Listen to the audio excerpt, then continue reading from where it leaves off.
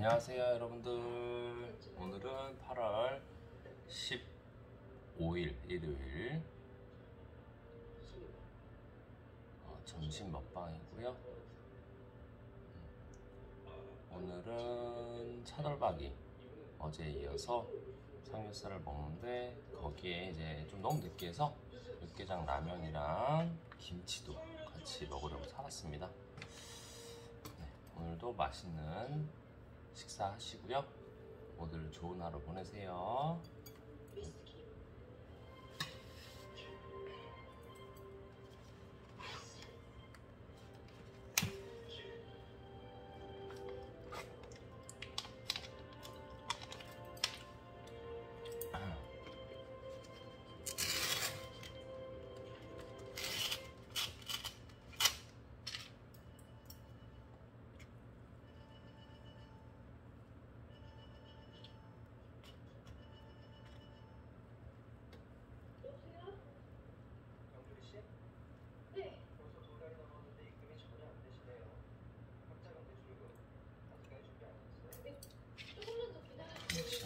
게 전에 입금 안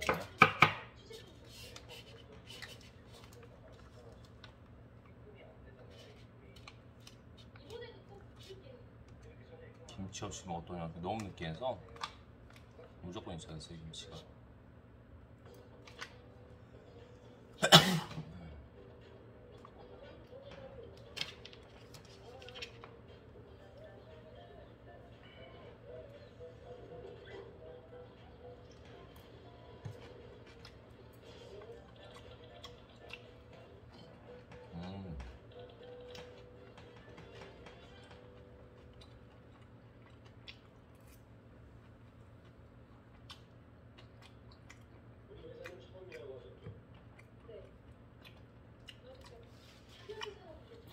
김치랑 먹으니까 두 배 맛있네요. 와, 꼭 김치랑 드세요, 여러분들.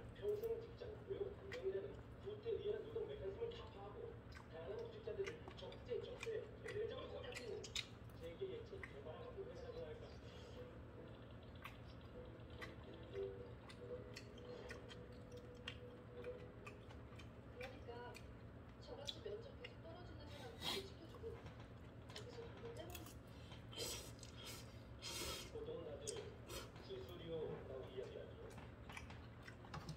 지금 보고 있는 거는 직장의 신이라는 거예요.